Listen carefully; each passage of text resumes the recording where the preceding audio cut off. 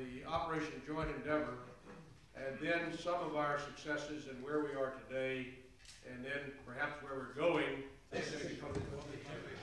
I'll give you a very specific answer. I don't know when the drawdown will start, nor do I know at this point whether the drawdown will be geared to the elections, or whether it will be geared towards the 20th of December, or whether it will be geared towards something else.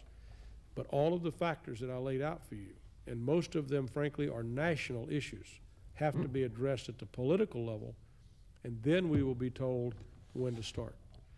phase towards, uh, and, and the beginning of it. And second, um, just regarding the mindful you would global corporations. Yeah. Are you willing to share those? Thank you very much. You. Thank you very much. Thank you. Thank you. Thank you.